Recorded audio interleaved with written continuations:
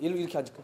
자 우리가 일로 왔어요 리나 지금 시간이 좀 있으면 점심 아 근데 너무 힘들다 이거 진짜 아, 아 진짜 빨리 프로그램 유명해졌으면 좋겠다 그래서 진짜 막 시간이 얼마 없으니까 자, 셋이 다 다니면 또 업무 방해될 수 있으니까 그쵸. 아마 층별로 우리가 한 명씩 가서 1인당 카메라 한 대씩. 어 층별로 가서 가장 사연주분 한 분씩을 모시고 일로 옵시다 지현 씨 내가 하지현 씨 내가 한 두 번 봤었거든요 매니저랑 친해가지고. 이게 이제 저는 개인적으로 컨셉이 아니었으면 좋겠네요. 저런 이렇게 좀 일하시는 모습이 누가 봐도 급하게 좀 안녕하세요. 바쁜 업무 중에 죄송합니다. 안녕하세요. 오늘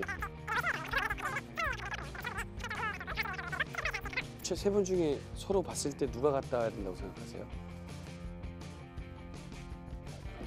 진짜로요? 왜 왜 고생이 많으시다고 생각하시죠? 재경팀에서 네 많은 업무를 맡고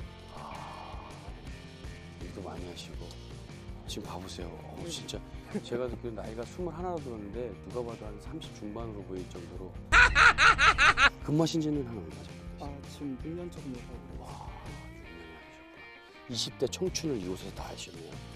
아까 밑에 봤던 여직원 예쁘신 분들 되게 많던데.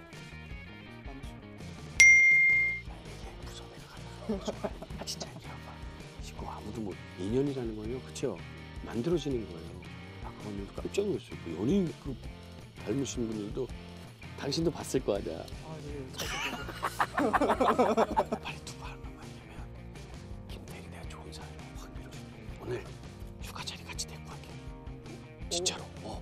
이따 이거 데리고 가면 되지. 어, 사장님이 주셨는데 누구야 빨리 내가 전해. 빨리 누구였지? 빨리 나한테 정보를 줘. 메시지. 창피하면 채면 쪽지 쪽지 적어줘 빨리 빨리.